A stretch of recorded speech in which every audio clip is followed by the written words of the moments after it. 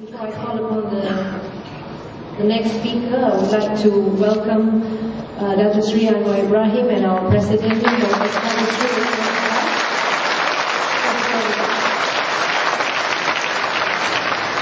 The next speaker, who actually doesn't really need much introduction, Dr. Zaid Ibrahim.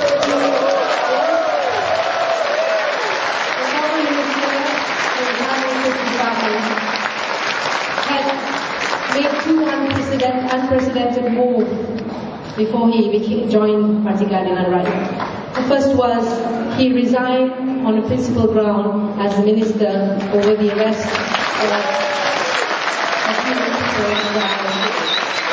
The second unprecedented move was he actually requested the king to consider not appointing, appointing Najib as the prime minister. Vishwanath Singh Rai.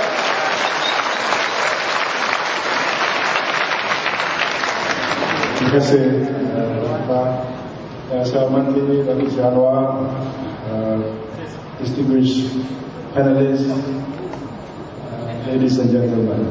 Assalamualaikum warahmatullahi wabarakatuh. Uh, Good evening.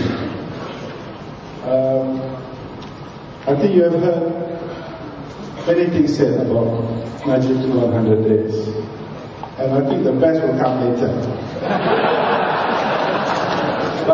but obviously say I can, you know, just say something uh, before his turn. Many ask me, why is it that I said, when I was, uh, well, before the king appointed Najib, why did you say you shouldn't appoint Najib? A lot of people asking me that question. And the simple answer, he's not a reformer. He's a showman, he's not a reformer.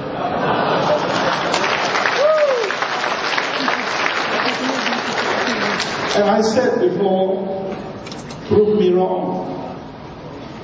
So after 100 days, I have been proven right.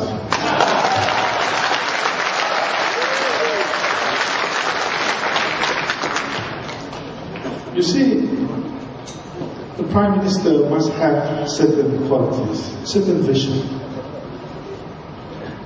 And I remember the early King of England, King Henry I, he wasn't a very good king. So the people of England admonished him, reminded him, you are the servant of the servants of God.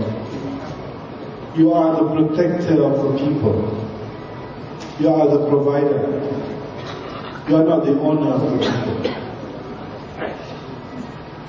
And the same thing we've heard in the, in, in the history of good leaders. They always think of the people. I remember Harun al-Rashid, great caliph in Islamic history.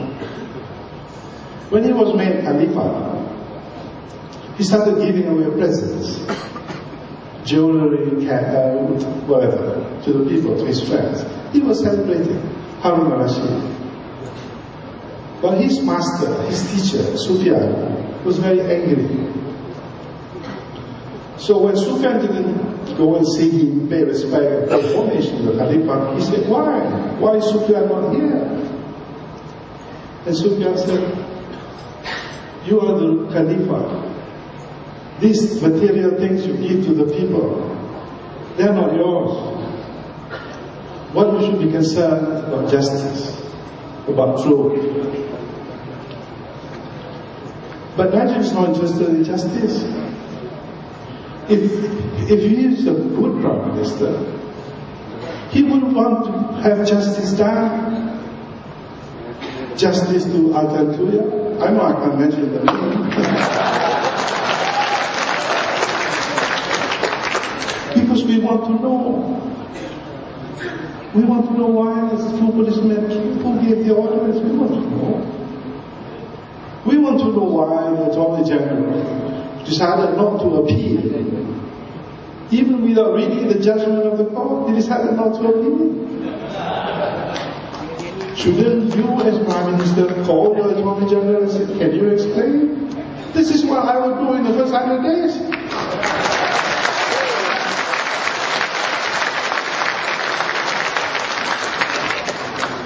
But I think he's not interested. ISA, when he was in uh, at that time, you know, there was a lot of uh, anger in Trump, he wanted the Indian vote. So he made some fantastic statement for, yes, we will review the ISA in the shortest possible time, we may even repeal. But he's not sincere. If he is sincere, let us march tomorrow. Don't get the police to block all the roads. Let us go.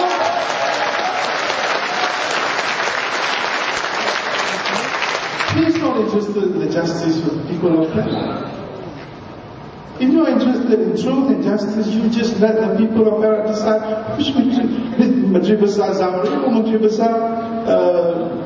uh, Nizar. What's so difficult? But you're not interested.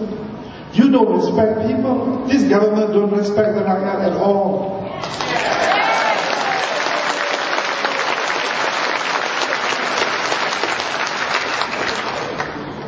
He's not interested in the truth about Dato Sri Anwar's you know, allegation of by the investigating officer, Mat Zain. He said they were trying to fabricate evidence against him. The most senior civil servant, the most important, the police chief and attorney general. This is the most the serious allegation you can have. And so what did, you, what did they do? They were some, they appointed some retired judges in some corner somewhere, come up with a decision, no, no, not guilty. if you're the Prime Minister who's interested in justice, about the people's welfare, you want to know.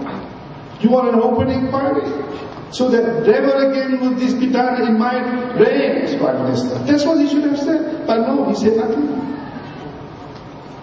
So what else did he do in a hundred days? Well, he got very fancy uh, people, of course. And he, come, he came up with this uh, 30% rule of the 27 services sector. But this 27 services sector, Mustapa Mohamed, his own minister, said in parliament, there were no Malays there. Anyway.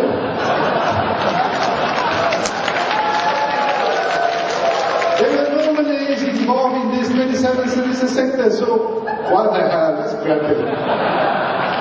And you call that a reformist?